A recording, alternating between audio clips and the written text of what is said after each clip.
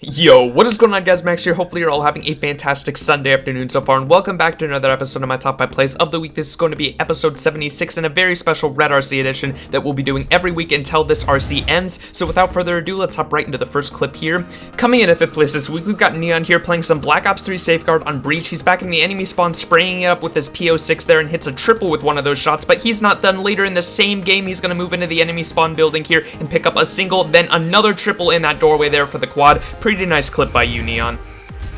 But moving straight into our next clip here, we've got Navy taking us back to some Black Ops 1 on the Kowloon DLC map. Up in the traditional trick shot spot, he spots the enemy down below, tosses a quick stun grenade, and then goes for the flame cancel, C4 cancel, insta-swaps to his sniper just before tossing that sucker halfway across the map to hit that guy up the ass. Very nice kill cam by you, Navy. That was a sick shot.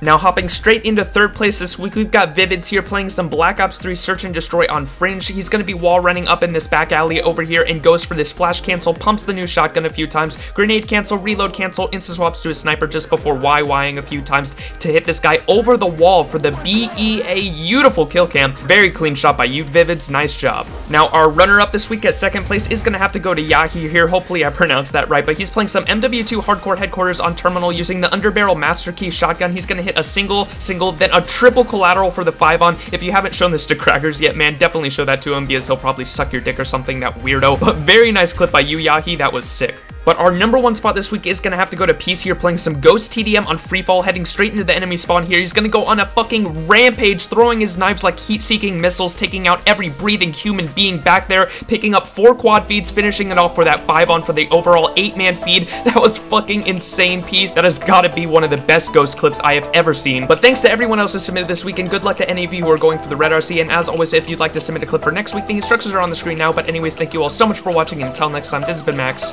Peace. There. But I'm gonna kill you for it. Channeling Swedish powers!